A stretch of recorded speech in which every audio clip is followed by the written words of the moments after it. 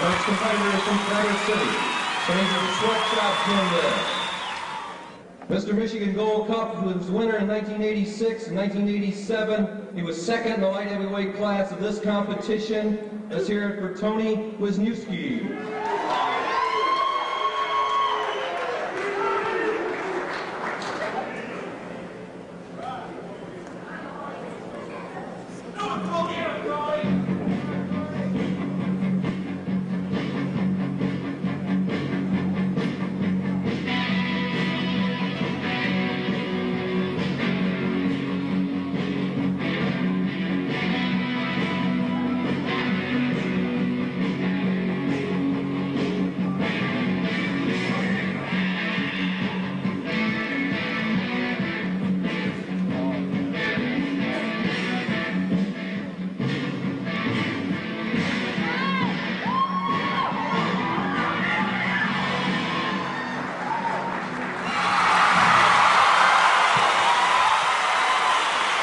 Thank you.